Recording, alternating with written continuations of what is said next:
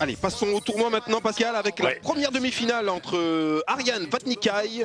Face à lui, ce sera Faldir Chabari. Allez, Chabari, toujours présent. Hein.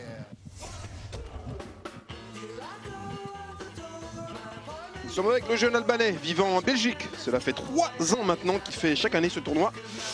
Il a réussi jusqu'ici à se hisser en demi-finale, mais toujours pas de titre hein, de son côté. Alors face à lui, ce sera The Fast, The Fast, comme tout le monde l'appelle en Hollande. Falier Chabari, ce garçon avec un seul œil, arrive à faire des, misères à pas mal de combattants. C'est vrai. Et ce soir, ça va pas être une masse à faire hein, pour Ariane Vatnikai. Quel est le moment le plus difficile dans un tournoi comme celui-ci? Bah, Quand on commence, c'est très difficile parce que le premier combat eh est très très important et le deuxième aussi. Alors on peut tout donner dans le premier combat, on donne des coups de pied dans les genoux, les coudes, on a des blessures. C'est pour ça qu'il est très important de faire un premier combat, euh, je dirais, très net.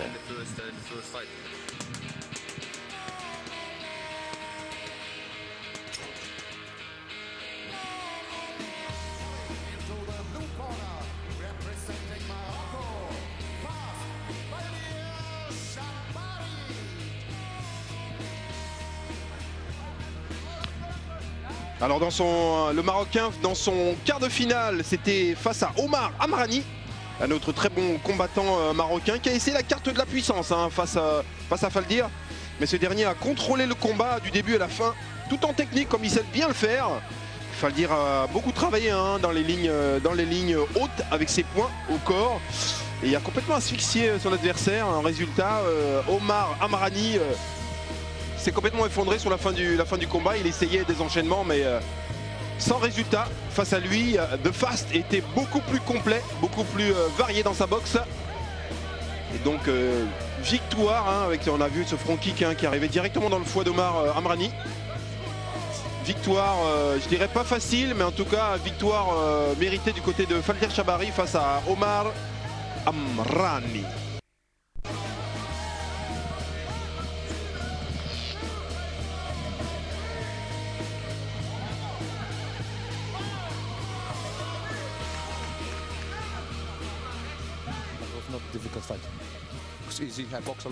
C'était pas un combat très difficile, hein. c'était plutôt facile. J'ai beaucoup boxé. Dans le dernier round, j'ai pas voulu en faire trop car je savais déjà que j'avais gagné le combat.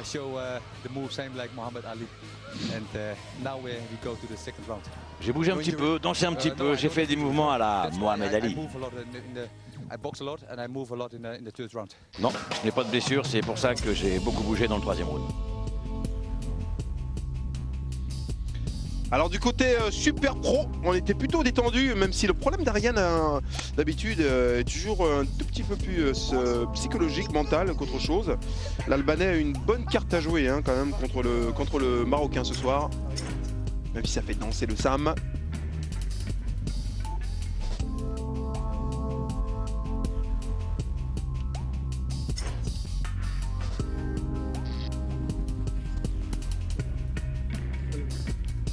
Voit à côté de son frère toujours. Soit c'est son frère qui combat et lui il est autour, soit c'est lui qui combat et son petit frère de 21 ans, parce que lui il en a 22, qui, est, qui, le soigne, qui, prépare, ses, euh, prépare ses bandes. Quelle sport familial Les difficultés qui peut se présenter à toi ce soir? Sincèrement, je ne vois pas.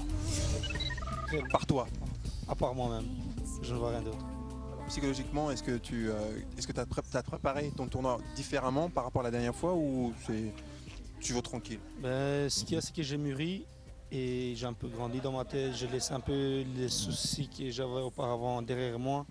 Et je me sens mieux. On va pour, euh, toujours pour gagner. J'espère qu'il n'y aura pas de surprise. Pas des surprises, mais en tout cas avec euh, The Fast, il y en a toujours quelques-unes.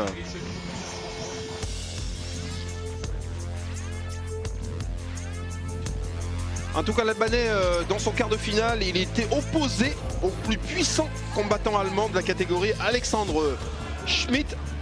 Même si l'Albanais euh, s'est fait bousculer un peu plus que le Marocain, il est resté concentré sur son sujet, euh, fort mentalement. Cette fois-ci, il a dominé hein, son sujet tout en puissance quand même, comme il sait le faire aussi. Mais cela suffira-t-il contre Faldir Pascal en demi-finale? Donc il s'en sort, mais dans la douleur, l'Albanais. Laisse apprécier hein, ces, les images. Difficile quand même hein, pour Ariane parce qu'en face de lui, euh, mais il s'impose quand même. lourd, euh, absolument, absolument. on va dire assez nettement quand même. Dans un combat plutôt difficile, il passe. Mais justement, aura-t-il euh, conservé suffisamment d'énergie pour sa demi-finale? Nous le saurons très vite. Absolument. Là, où- là est toute la question.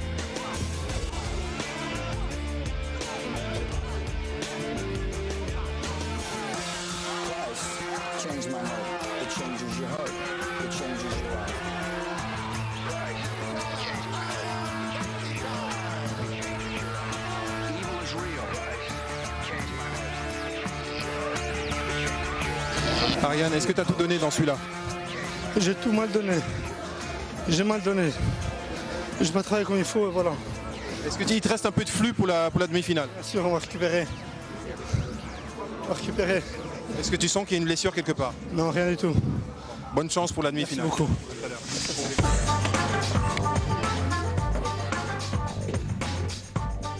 Pas facile hein, face aux Marocains, ce sera en tout cas pour l'Albanais. On sent quand même que d'un côté, euh, on a, beaucoup beaucoup plus travaillé que de l'autre, Pascal. Ah oui. Ça masse à faire pour l'Albanais, mais comme il le dit, il va essayer de récupérer bien évidemment avant cette demi-finale et on va dire face, face aux favoris d'épreuve. hein. Alors s'il y avait un message euh, de Chiavari pour son adversaire, ce serait Je peux juste dire euh, bonne chance et on se voit sur le ring. on se verra sur le ring mon ami, comme dit euh, Ariane de son côté.